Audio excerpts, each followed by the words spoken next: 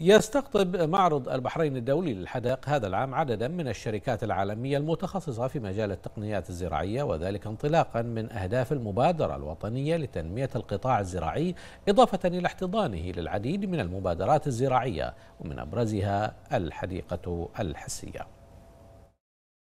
على مساحة تقدر بسبعة آلاف متر مربع أقيم معرض البحرين الدولي للحدائق الذي تحول إلى حديقة نموذجية توعوية ابتكارية بمشاركة 200 عارض من القطاع الخاص والعام.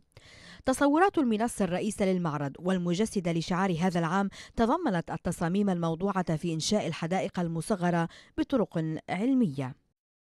يتكون جناحنا من الحدائق المصغرة المثالية اللي تعتمد على أنظمة الري الحديثة بالإضافة إلى توفير مجسم آه، يتناول الحديقة المثالية داخل أي منزل. أنا شاركت في اليونيدو على أساس أن هاي آه، زراعة صحراوية وحطيت فيهم هذه شو اسمه الصبار الصبار حطيته. وشنو نستفيد من الصبار؟ طبعا فهذه ما يبي لها عناية وايد ولا يبي لها ماي وايد فيسوونها مثل المنظر الرائع ويخلونها.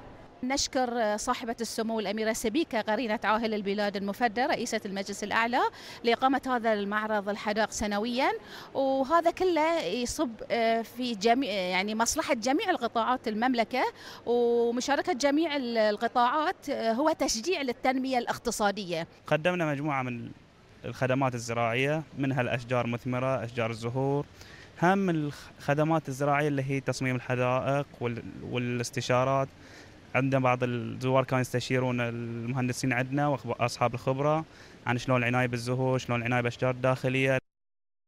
المعرض استقطب هذا العام عددا من الشركات من مختلف دول العالم لعرض أحدث الابتكارات والتصاميم والتقنيات الزراعية، وزوار المعرض عبروا عن إعجابهم بهذه الابتكارات والتصاميم وأشادوا بالتطور الملحوظ في إبراز القطاع الزراعي.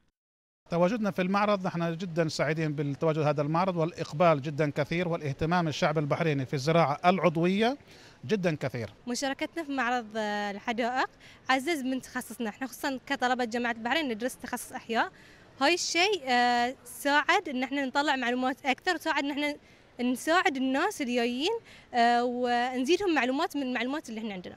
ما شاء الله المعرض جدا رائع يحوي أشياء كثيرة من الزهور وأنواع الأشجار والثمار وترتيب جدا طيب والعرض جدا رائع. والله المعرض حلو وكل سنة آه، يعني آه، يكون آه، يعني المواضيع جميلة وحلوة ومفيدة بالذات هالمرة يعني عن الحدائق الصغيرة.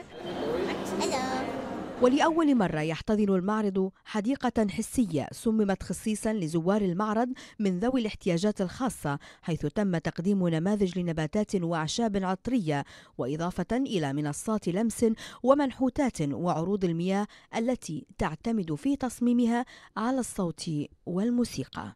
سهر عصفور لمركز الأخبار تلفزيون البحرين.